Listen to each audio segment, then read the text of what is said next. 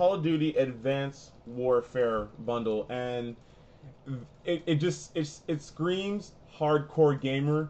Like You the- just look it- at that controller. It looks the- the- the- amazing. The, controller, the like the sc- like better have that controller everything, sold design, separately. No, I doubt design, it.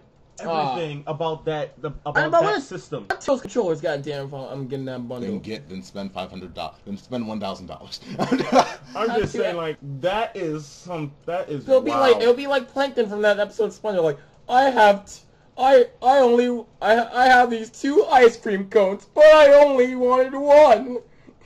It's like I, to- totally I totally understand. I I just see. like that console though. I mean the way it looks, the the it just makes like at first I was like, you know, I don't want to get an Xbox One. yeah, same here. As soon as I see that, I'm like, well, Damn I it. It's that golden D-pad that gets me right there. I just want that. That's I was like, well, that. damn. That's what screams to me value. Yeah, Yeah, like, like, the- I mean the emblem on the on the Xbox One. this is one Is that like smiley face right there? Like No. no, it's, it's an emblem. No, it's like but a like uh, emblem int- for the game and stuff. Yeah, the entire Xbox, like this one, truly has been re-outfitted from the ground up. It looks like it's not like it's the, it's the same console, but like it looks so much differently. Like the paint job is much more like uh, military, like like tough and really really And I think- aggressive. I love that color scheme. I love everything about it.